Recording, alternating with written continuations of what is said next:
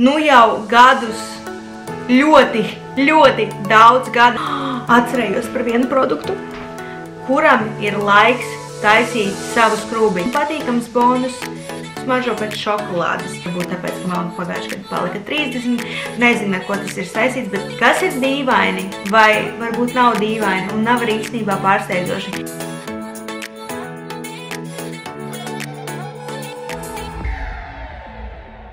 Čau, mani mīļie, un esiet sveicināti atpakaļ manā YouTube kanālā. Es teikšu, ir diezgan dīvaini filmēt šāda tipa video. Es pat neatceros, kad es pēdējo reizi būtu apsēdusies šādi te nolikusi kameru un runājusi par kādiem kosmētikas produktiem.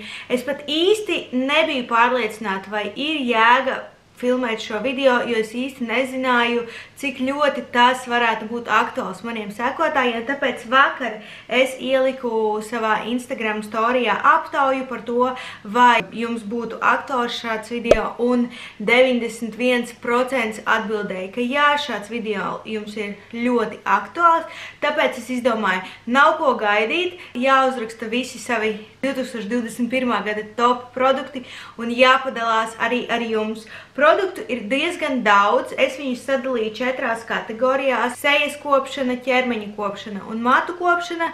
Uh, produktu ir diezgan daudz, tāpēc es centīšos par katru runāt īsi un kodolīgi, lai jums nepaliktu garlaicīgi. Un pēdējais, ko es gribu pateikt pirms mēs sākam, ir tas, ka es būtu ļoti pateicīga, ja tu abonētu manu kanālu, uzspiestu podziņu abonēt, tas man nozīmētu ļoti, ļoti daudz un motivētu mani darboties arī tālāk. Un, protams, uzspied šim video arī like, ja tu gribi, lai es turpinu filmēt tieši šāda tipa video. Es domāju, ka mēs sāksim ar matu kopšanu, jo šajā kategorijā man par lielu pārsteigumu ir tikai divi produkti. Patiesībā ne divi produkti, bet man pašlaik ir tikai divi no maniem mīļākajiem produktiem.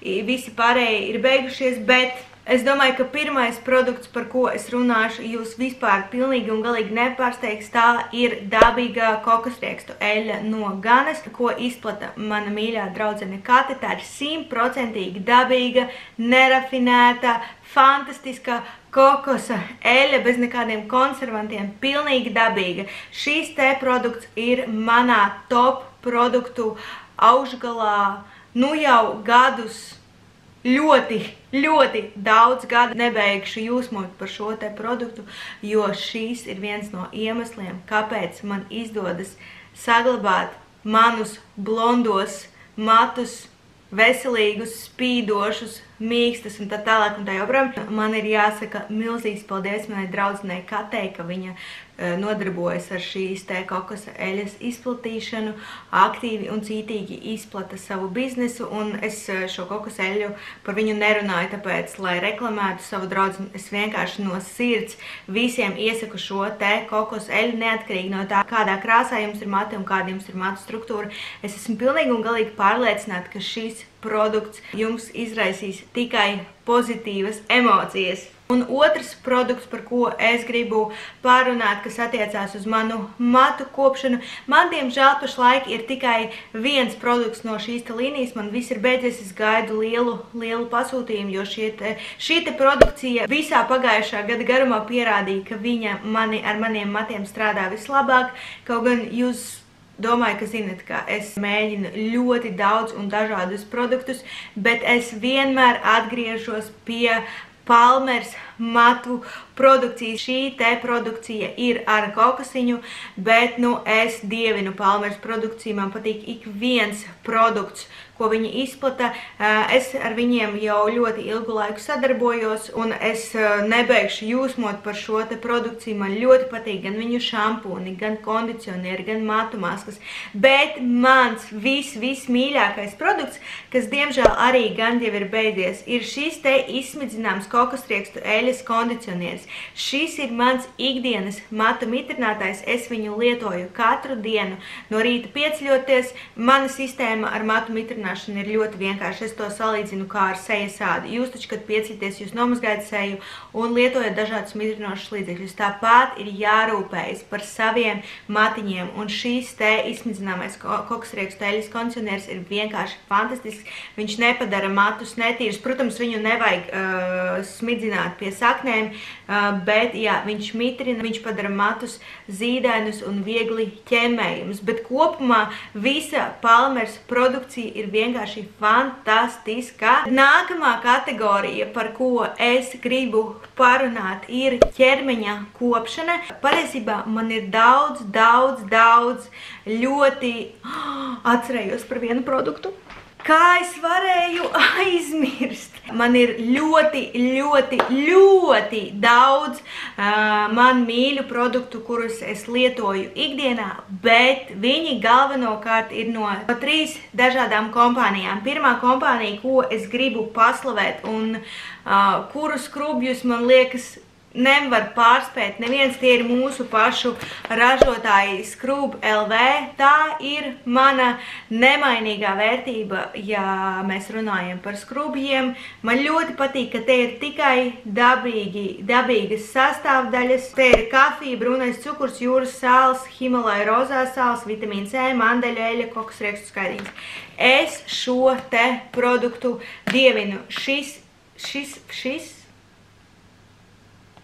Šis, man liekas, ar kokosriekstiem ir mans mīļākais, bet mani tagad sāk, ne, pēkšņi es sāku atcerēties, ka bija vēl viens, kas man ļoti patīk, kas man atgādināja, ka viņš smažo pēc marcipāna, bet man tagad ir izkritis no galvas, jo es pēdējās trīs paciņas esmu pirkusi tieši kokosriekstu skrubīti. Jā, un es zinu, ka jūs teiksiet, Elīna, tu taču vari pati uztaisīt tādu pašu skrubi mājās, ņemot vērā to, ka šeit ir tikai dabīgās sastāvdaļas, kuram ir laiks taisīt savu skrūbi. Man noteikti nav tik daudz brīvā laika. Uh, nākamais produkts arī jūs nepārsteigs, es par šo produktu esmu runājusi daudz un dikti, un tas ir mans mīļais mandeļu piena koncentrāts no L'Occitane.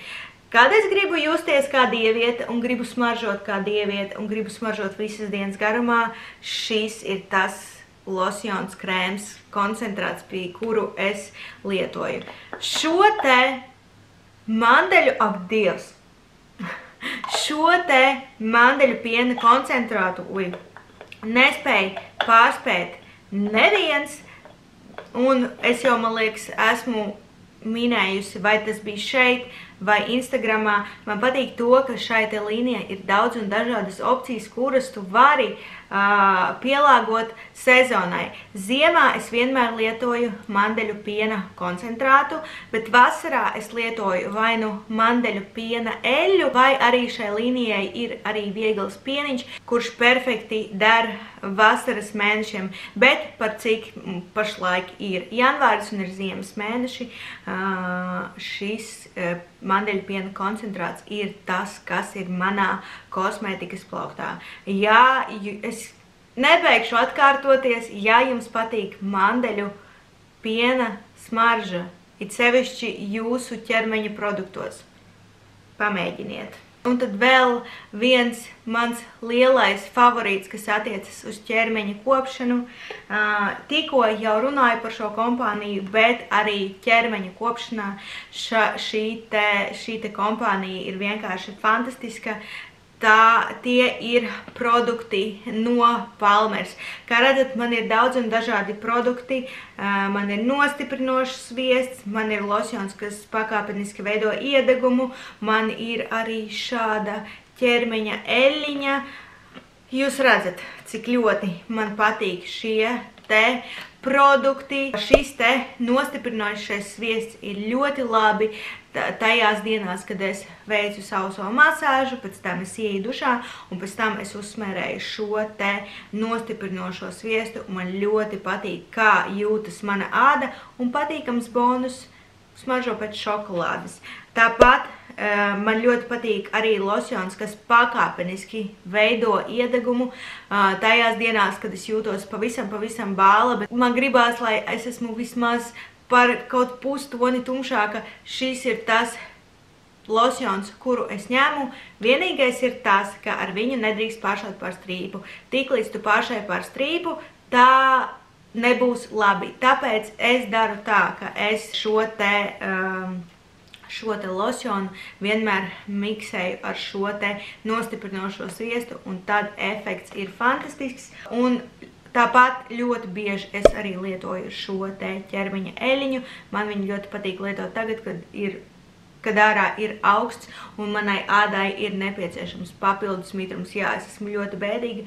Viņa tūlīt, tūlīt jau beigsies, un starp citu es arī smērēju Markusu ar šo eļu, jo viņa ir ļoti, ļoti dabīga, un man patīk tas, ka viņa ļoti ātri iesūta sādā. Markusam arī nepatīk, ka es viņu smērēju ar krēmiem, jo tad viņš rāda, ka viņš ir lipīgs, tāpēc jā, es izmantoju bieži vien šo eļu, jo viņa ļoti ātri iesūtas ādā un ādiņu padara mīkstu, elastīgu un smaržīgu. Un, jā, starp citu, šī te eļa smaržo pēc mežrozītēm, kas arī ir ļoti patīkami. Un tad pēdējā kategorija, par ko es šodien gribu parunāt, ir sejas kopšana. Ja es atceros pagājušo gadu, tad es sejas kopšanai nepievērsu tik daudz uzmanības, cik es to daru tagad. Varbūt tāpēc, ka man pagājušajā gadā palika 30, nezinu, ko tas ir saistīts, bet tagad es pievēršu sejas kopšanai daudz vairāk uzmanības, daudz vairāk pievēršu uzmanību tām, kādus produktus es lietoju.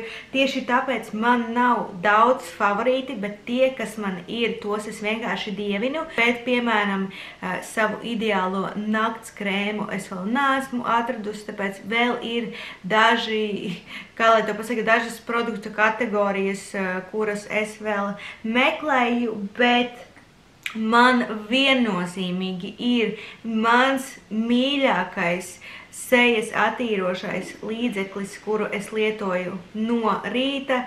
Šis tas ir uh, putojoša, attīroša želeja taukainai jūtīgai ādai no La Roche-Posay. Kā redzat, Es šo produktu lietoju daudz un dikti, viņš ir mīlēts un lolots, un uh, es domāju, ka tiklīdz viņš uh, paliks vēl mazāk, es noteikti uh, viņu pirkšu no jauna.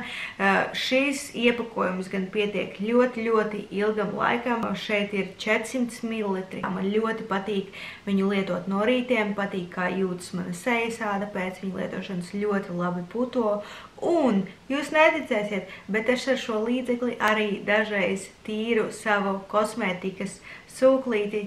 Es nesaku, ka jums tas ir jādara, bet es esmu sapratusi to, ka šis te produkts ļoti labi iztīra arī manu kosmētikas sūklīti. Tas sanāca pavisam nejauši, jo viena brīdi man bija beigušās šķidrās ziepes roku mazgāšanai, ar ko es parasti mazgāju savu kosmētikas sūklīti. Un es izdomāju, kāpēc gan nepamēģināt šo produktu, un kā izrādījās, viņš ļoti labi dara arī tam. Eh, man, es gan neesmu mēģinājusi ar viņu mazgāt, eh, tīrīt kosmētikas sotas, jo man ir ļoti daudz kosmētikas sotas, un tad šis te līdzeklis iztērēsies ļoti, ļoti ātri, ko es negribu. Nākamais mans, man ļoti mīļais produkts arī ir no La Roche-Posay. Tas ir serums ar hialuronskābi B5. Es viņu parasti lietoju no rītiem pēc tam, kad seja ir attīrīta. Tā man ir kā sava veida mm, savu veidu procedūra. Vienmēr šos produktus lietoju kopā. Kopš es saņēmu šo, es pirku pati, bet šo man ļoti laipni atsūtīja La Roche-Posay komanda, un es esmu ļoti, ļoti priecīga un pateicīga par to, ka viņi man atsūtīja šo te serumu, jo man viņš ļoti patīk manā ikrīta sejas kopšanas rituālā. Man arī ļoti patīk tas, ka visiem La Roche-Posay produktiem ir ļoti patīkams svaigs aromāts, kas, manuprāt, ir ļoti svarīgi, lai savu dienu iesāktu uh, ar labu noskaņojumu. Nākamais produkts, par ko es gribu parunāt, ir dienas mitrinošais krēms, un tas ir šis te uh, krēms no L'Occitans, uh, no līnijas Aqua Retoir Ultra Thirst Quenching Cream. Šis ir te mitrinošais krēms. Es nu jau kādu laiku atpakaļ, kopš es pastiprināti sāku interesēties par sejas ādas kopšanu, sapratu, ka lai gan man ir taukains slash kombinēts ādas tips, es nedrīkstu lietot uh, uh, produktus, kas ir tieši kombinētam un taukainam ādas tipam, jo es nezinu kāpēc, bet šie te līdzekļi padara manu ādas stāvokli vēl trakāku un mana sejas āda paliek vēl taukaināka. Īsti negribēju tam ticēt, bet kaut kas man ieteica pamēģināt lietot tieši mitrinošo krēmu, krēmu sejas ādai, un neskatoties uz to, ja tavs sejas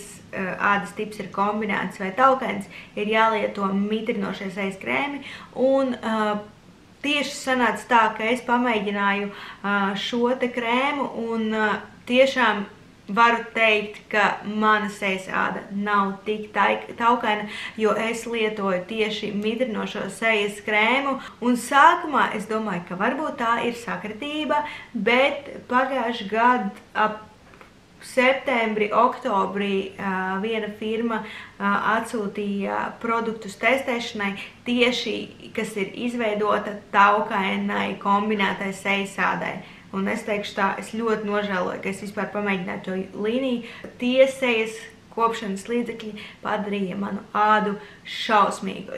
Ja es uzsmērēju šos te līdzekļus, kurus man atsūtīja uz nakti, es no rīta pamodos kā taukaina pika. Vēl viens produkts, par kuru es gribu parunāt, kuru es nevarēju, nu nevarēju atstāt novārtā, ir šīs te attīrošais gēls, krēms, sviests, nezinu, kā ir pareizi, uh, balzāms, tā ir pareizi, no LMS. Jā, šis produkts ir padārgs, patiesībā visi produkti nav no lētā gala, bet, ja mēs runājam par sejas ādas kopšanu, ne, nežēlojiet naudu. Uh, š, viņš izskatās šādi te. Šis manā dzīvē ir kāds, nu, es nepārspīlēju, teikšu septītais. Šis ir vispēr perfektākais līdzeklis, lai noņemtu kosmētiku, un šis ir ar fantastisko rožu smaržu, kas ir dīvaini, vai varbūt nav dīvaini, un nav arī īstenībā pārsteidzoši. Līdz es paliku stāvoklī ar Markusu, es ciest nevarēju rožu smaržu produkcijā. Tagad man tīri labi patīk. Perfekti noņem, notīra visu kosmētiku, kas ir uz sejas, un tā kā es krāsojos everyday, all day, tad, uh, jā, šis produkts ir mans lieliskais palīgs. Uh, es zinu, ka šis produkts pagaidām pārdodas tikai Stokmanā, ja es nemaldos, no tādiem fiziskajiem veikaliem, kas mums ir pieejami. Bet man liekas, vai nē, Douglasā viņš nepārdos, tāpēc jā, ja jums ir interese, viņš ir pieejams universāli veikalā Stokmanā. Un tad pēdējie divi produkti, ko es šodien gribu pieminēt, ir divas sejas maskas. Viena ir liftinga maska, otra ir attīrošā maska. Es domāju, ka sāksim ar liftinga masku. Tā ir šī te liftinga maska no Artistry. Man ļoti, ļoti patīk. Šī arī ir jau es neatceros, kuru pēc skaita mana burciņa. Man ļoti, ļoti patīk, kā jūtas mana sejas āda pēc šīs te eh, maskas lietošanas. Efekts pēc šīs maskas ir acīm redzams. Man patīk, ka šo te masku uzklājot ir patīkam, patīkama sildoša sajūta. Es eh, viņu visbiežāk lietoju pēc garas, garas darba dienas, kad es jūtos ļoti, ļoti noguris un man gribās, lai mana āda, lai mana sejas āda izskatītos nedaudz nostieptāka un nedaudz uh, svaigāka. Tā kā jā, šis te, šī te ir liftinga maska no Artistry Amveja. Pēdējais produkts, par ko es šodien gribu pārnāt, attīrošā maska ar timijānu. Šī gan, šī gan ir praktiski... Uh!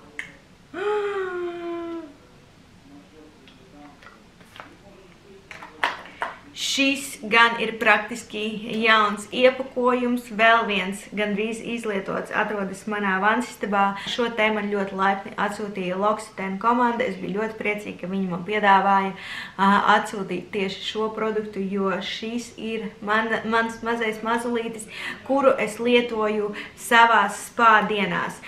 Es cenšos uzrīkot sev spā dienas katru svētdienu, bet nu, man tas nevienmēr sanāk, bet tā, kuras paliku. Bet, ja man tas sanāk, tad, šīs, tad šī te attīrošā maska ar timjānu ir neatņemama sastāvdaļa. Man patīk, ka konsistence ir ļoti viegla, man patīk, ka uzklājas ļoti mēreni un viegli.